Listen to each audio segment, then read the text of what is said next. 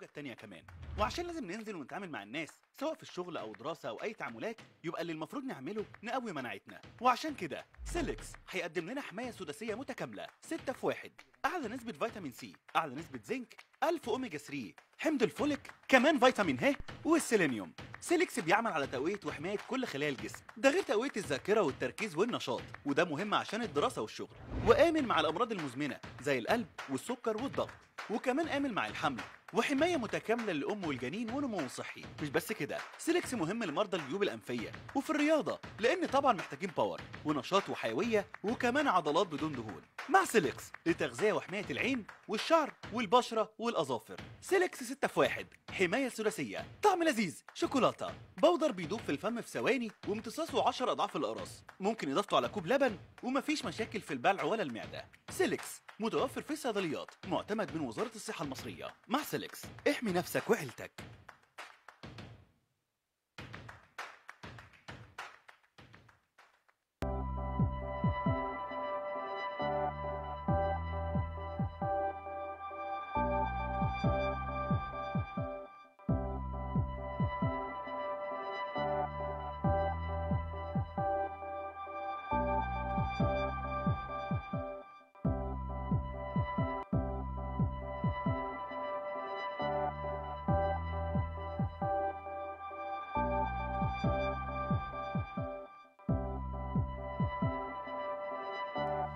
صباح الخير على كل مشاهدينا مشاهدي قناة الصحة والجمال أهلا ومرحبا بكم في حلقة جديدة من برنامج أنت الطبيبة.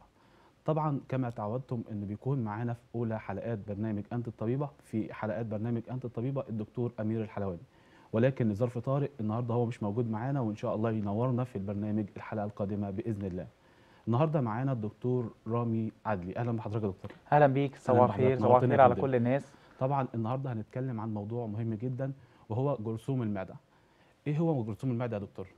آه الأول أنا بحابب أصبح على كل المشاهدين وأصبح على حضرتك طبعا. صباح الفل يا دكتور. آه جرثومة المعدة هي عبارة عن آه بكتيريا تم اكتشافها حوالي سنة آه 1980 آه أو 1982 تقريبا يعني تمام. عن طريق اتنين من العلماء الأستراليين.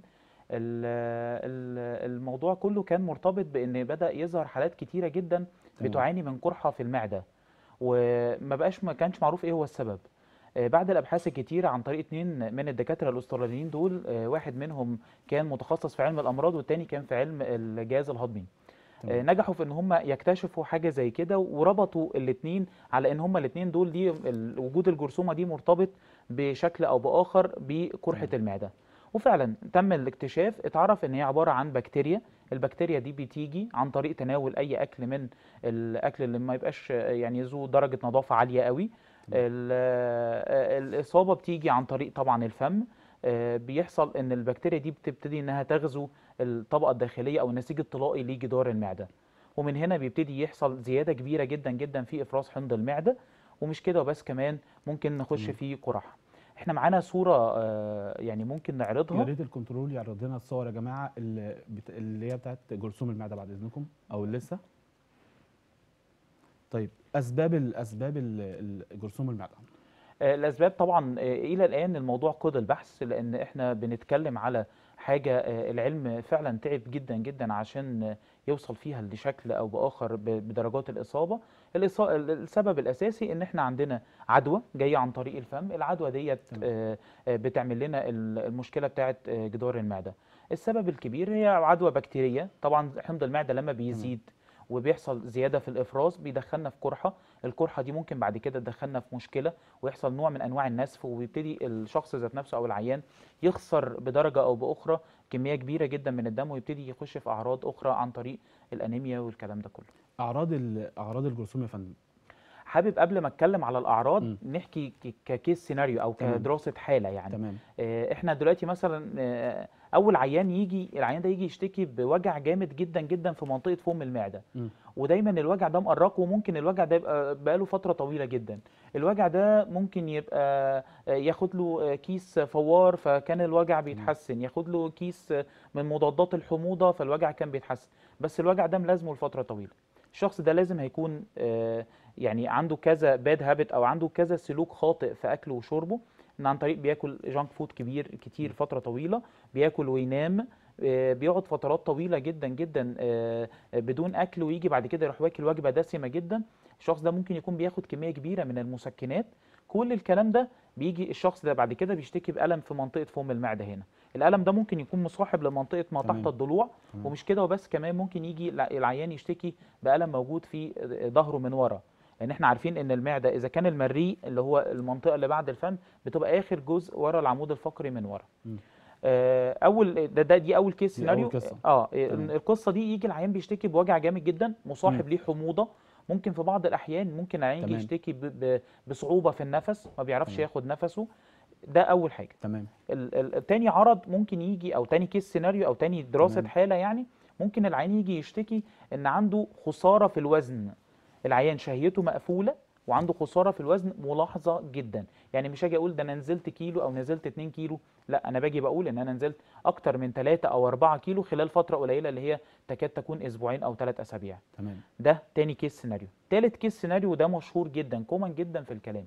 إن العيان يجي أو العيانة تيجي تشتكي إنها عندها انيميا جامدة جدا والانيميا مش بتستجيب لأدوية الحديد أو الأدوية اللي فيها vitamins كتير أو حتى الأكل والشرب. ده تالت case scenario تمام. هنتكلم في كل case scenario من ال cases ديت. رابع case scenario إن العيان يجي يشتكي بآلام جامدة جدا في بطنه وممكن يكون مصاحب معاها. تغير في ريحة الفم بتبقى تمام. ريحة مش كويسة. وممكن كمان يجي يشتكي إن اللسان ذات نفسه أو منطقة الفم يبقى فيها زي قرح متكررة ومش كده وبس كمان طبقة بيضاء أو طبقة غامقة على ال- ال- اللسان. إحنا هنشوف صور لكل الكلام ده دلوقتي. تمام. تمام؟ طب ده إيه أربعة سيناريو. دكتور؟ كل اللي أنا قلته ده هي دي الأعراض. تمام. الأعراض اولا العين يجي يشتكي بميل للقيء أو تقيؤ في بعض. الأحيان وممكن القيء دوت يكون مصاحب ليه مادة أو لون لون البني أو لون اللي هو لون ما يشبه الالتهاب أو ال- ال- ال- التقرح اللي موجود في جدار المعدة اللي هو لون القهوة أو لون ال- ال- الداكن دوت لون الدم مم. وممكن في بعض الأحيان العيان يجي يشتكي بكميات دم كبيرة جدا جاي بيرجع دم أنا جاي برجع دم ولسه إيه هي. طرق التشخيص يا دكتور طرق التشخيص بتاعتنا آه، في طرق إحنا بنقسمها يعني الطب دايما يقسمها اتنين. في حاجة اسمها invasive يعني حاجة عن تمام. طريق آه، آه، فحوصات آه، ليها علاقة بأوضة عمليات. ممكن نخش وناخد بنج ونشخص وفي فحوصات بسيطة. أول أول طريقة وأشهر طريقة هو تحليل في البراز. ناخد عينة. من عينات البراز ونبتدي إن إحنا نحللها ونقول إحنا بندور على الميكروب أو بندور على البكتيريا ديت جوه البراز. ده أول طريقة. الطريقة الثانية بنعمل حاجة اسمها تحليل النفس. تحليل النفس ده بناخد مادة بناخد كبسولة أو بنشرب حاجة فيها مادة معينة. لما بتتفاعل مع ال- ال- الميكروب اللي موجود في المعدة بن بن بنطلع الزفير في كيس كده معين بنقيس فيه نسب الكربون اللي موجودة وده بيشخص. ده تاني طريقة. يبقى أول حاجة تحليل البراز. تاني حاجة تحليل النفس. تالت تحليل هو تحليل الدم وللأمانة التحليل ده ما بيفيدش خالص خالص خالص. التحليل ده obsolete تقريبا ما بيفيدش أي حاجة خالص. التحليل ده بنقيس فيه نسب الأجسام المضادة جوه دم الشخص المصاب. مش بيبقى مفيد وتقريبا يعني كل الدكاترة وكل أساتذتنا ما بيعملوهوش دلوقتي. ده أول group. تمام. الجروب التاني ممكن نشخص عن طريق حاجة اسمها منظار الفم أو منظار المعدة. ندخل خرطوم طويل كده في نهايته كاميرا بنخش لغاية جدار المعدة. وللأمانة دي بتبقى أكتر طريقة بتأكد وجود الجرثومة أو تمام. عدمها.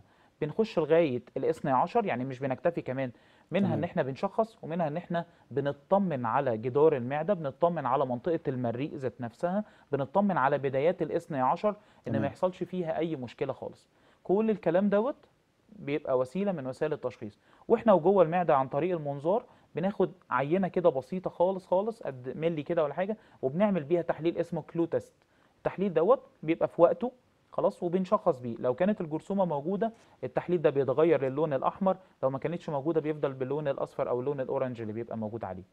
وممكن في بعض الحالات تانية عشان نشخص إن لا قدر الله ما دخلناش لا قدر الله في آه، أورام أو ما دخلناش في حاجة. لأن الجرثومة من ضمن ترتيباتها على مستوى العالم وفي ال guidelines بتقول إنها تمام. ممكن تعمل أورام. تعمل حاجة اسمها MALT lymphoma مم. خلاص؟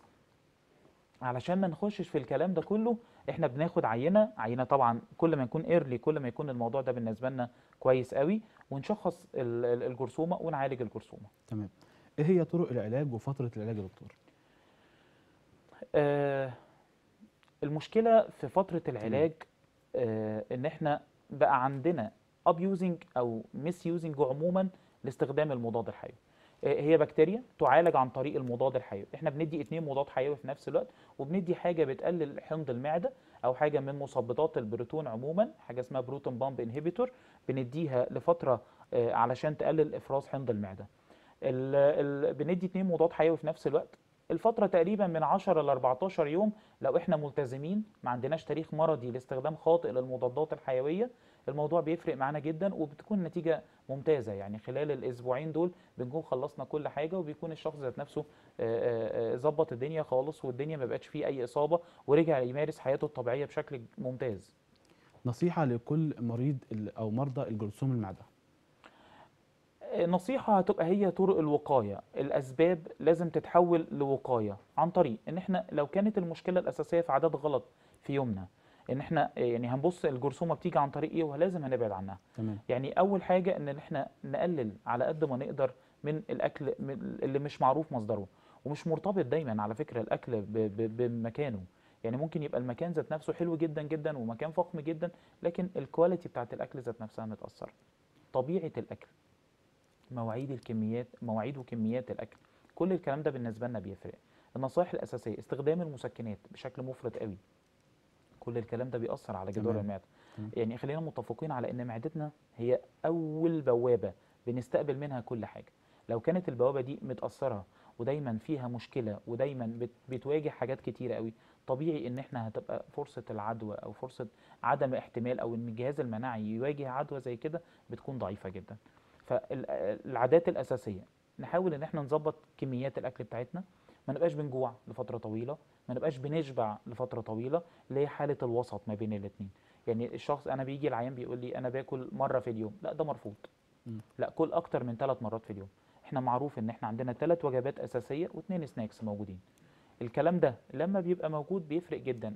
الامتلاء لما المعدة بتحصل لها امتلاء جامد قوي بتكون زيادة إفراز الحمض بتاع المعدة بتبقى جامدة قوي ما بالك بقى إن في عيان. أصلا عنده التهاب فبيبقى الحمض عنده مضاعف أو إفرازه بيكون مضاعف فبيكون الموضوع صعب قوي حقيقي بس فأول حاجة إن إحنا نظبط مواعيد الأكل بتاعنا نظبط مواعيد إن إحنا ما نبقاش بناكل وننام مباشرة طبعا إحنا أغلب حياتنا كلها طول اليوم مطحونين في يومنا ونيجي بعد كده نروح إحنا واكلين داخلين على السرير على طول تمام دي حقيقة. مش مظبوطة. دي كلنا بنعاني منها بصراحه نقلل كميات الكافيين اللي إحنا بنشربها مش. هقدر أقول يعني شخص حياته كلها بتبقى آه، بيشرب ثلاث أو أربع كوبايات نسكافيه في اليوم وثلاث أو أربع كوبايات قهوة في اليوم. الشخص دوت هاجي أقول له stop وما تاخدش حاجة زي كده أكيد مش هيقول- لي مش هقدر.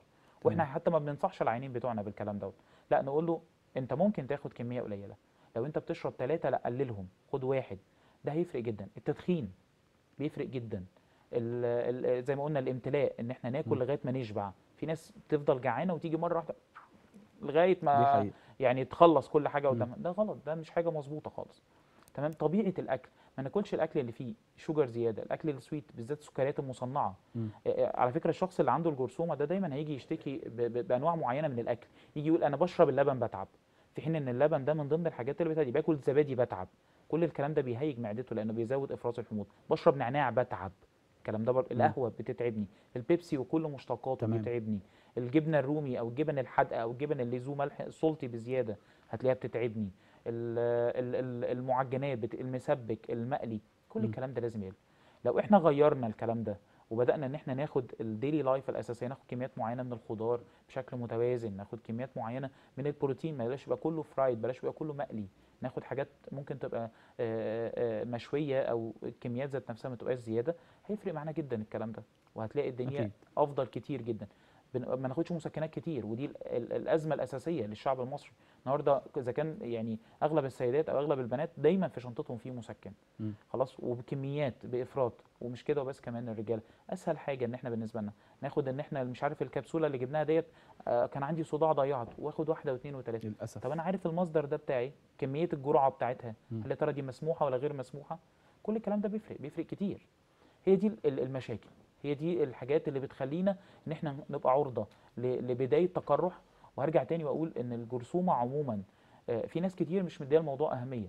مم. لكن بمنتهى الأمانة دلوقتي وآخر الأبحاث العلمية إن إحنا لازم نعمل eradication لحاجة زي كده. أنا لسه كنت شايف حالة امبارح ولد سنه 30 سنة. تمام. 30 سنة وجاي بيشتكي بورم في معدته. عملنا عملنا منظار وخدنا عينة والعينة مبينة إن في ورم. سبب الورم ده إيه؟ ده إن في جرثومة. يعني إحنا الموضوع ما بقاش كمان بيأثر على ال daily life بتاعتنا أو ال activities أو الأنشطة الأساسية بتاعتنا. لأ ده إحنا كمان ممكن نخش في مشاكل أكتر. بيجي بعد كده العيان بيشتكي بحاجة اسمها MALT lymphoma ودي بتبقى نوع معين من أنواع الأورام الرخمة جدا حقيقي. وسببها الجرثومة. الجرثومة دلوقتي مصنفة على إن إحنا ده ميكروب أو دي بكتيريا بتعمل أورام. تمام. ده ال guidelines أو دي ال- التصنيفات ال- العلمية بتقول الكلام ده. الموضوع في بعض الناس ممكن تبتدي تبدأ كورس العلاج وما تكملوش ودي بالنسبة لنا بتكون مشكلة لأن إحنا تمام. بنعمل resistant أو بنعمل مقاومة من المضاد الحيوي اللي بيبقى تمام يا. دكتور. كل الكلام ده مهم جدا. أنا عشان أقي نفسي من حاجة زي كده أتأكد من مصدر أكل البيت مفيش أفضل منه آخد كميات معينة من الوجبات ما بقاش بشبع ما بقاش بجوع ما بقاش باخد كميات من الكافيين أو ال caffeinated drinks عموما لازم تبقى قليلة. البيبسي ومشتقاته لازم تقل. أبقى دايما في خضار في يومي أشرب كميات مية. هلاقي كل حياتي بقت مستقرة ومتظبطة العلاج آه، زي ما حضرتك كنت سألتني تمام. وفضلت بده إحنا قلنا إن إحنا بندي اتنين مضاد حيوي في أنواع كتير جدا دلوقتي على فكرة ال guidelines بدأت تقول كذا حاجة كان الأول متعارف عليه مادة ال clarithromycin مع مادة آه، مادة معينة إذا كان ال- ال- ال- ال- التينيزيدين أو أو غيره أو مشتقاته يعني. وبندي معاه حاجة اسمها proton pump زي أي ماده أي مادة فعالة من اللي موجودين دلوقتي بقى موجود بقى في بروتوكولات جديدة دلوقتي. مم. بقى في حاجة اسمها بيزمس بناخدها. كل الكلام ده لازم يبقى آه، آه، يعني يختار عن عن طريق الحالة. مش كل الحالات تنفع إنها تاخد أي حاجة.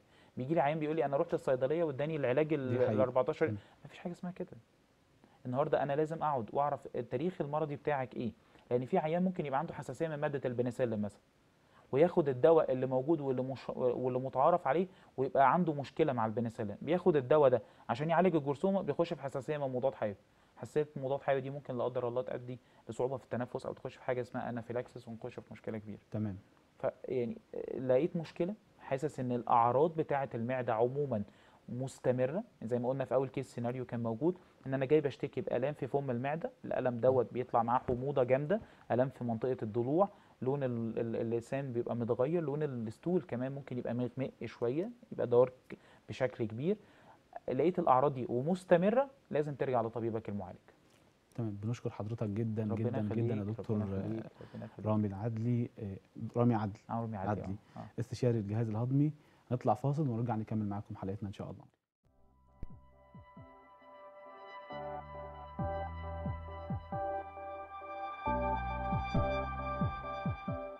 لو موجة الكورونا الأولى عدت عليك بسلام يبقى لازم تحمي نفسك من الموجة التانية كمان.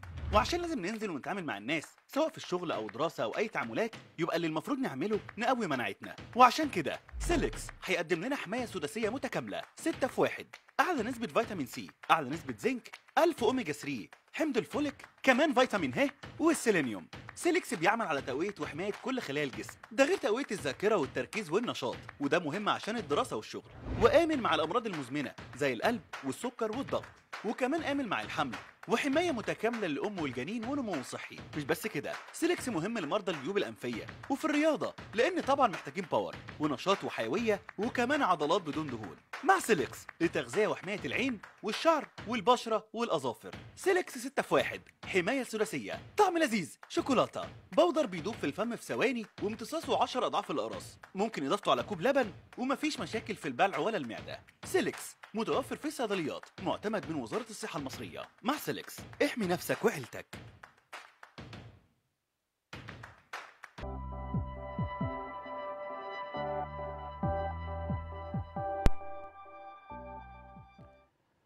ورجعنا لكم بعد الفاصل ومكملين معاكم حلقتنا وحوارنا الشيق جدا جدا جدا مع الدكتور رامي عدلي وهيب استشاري الجهاز الهضمي. أهلا بحضرتك يا دكتور. أهلا بيك أهلا بيك يا فندم. آه، أعزائي المشاهدين معانا بعض الصور يا ريت ال control يجهزها لنا. يا ريت مخرجنا يجهز الصور.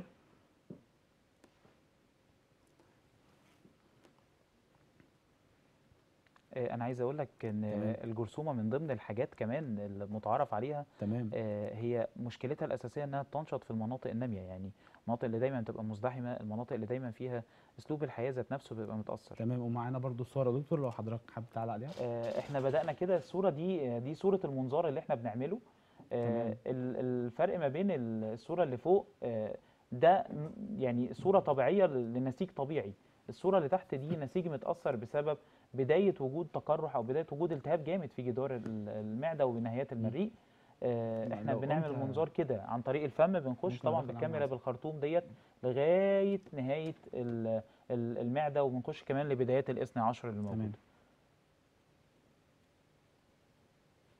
الصورة اللي بعدها؟ آه، دي صورة آه، يعني بتوضح مدى التأثير الرهيب لل- لل- للجرثومة. يعني الجرثومة دي هي الشكل اللي موجود بتقلب ال- الموضوع دوت بتقلب الموضوع دوت آه، عن طريق إن إن يبقى في مشكلة موجودة في آه، في جدار المعدة عن طريق زيادة الحموضة اللي موجودة يعني. تمام. الصورة اللي بعدها بعد إذنك؟ آه، إحنا يعني الصورة دي تمام، تمام. كده كاريكاتيرية بتوضح آه، آه، مدى التأثير اللي موجود من آه، الجرثومة.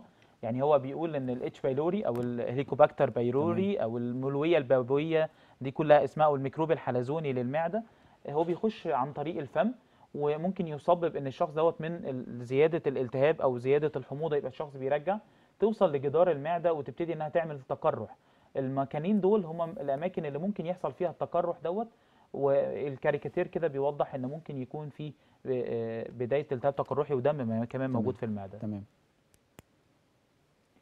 آه، ده شكل ال- ال- الميكروب هو بيأثر جدا على النسيج الطلائي الداخلي وبيزود في السمك بتاع بطانة النسيج الطلائي بتاع المعدة.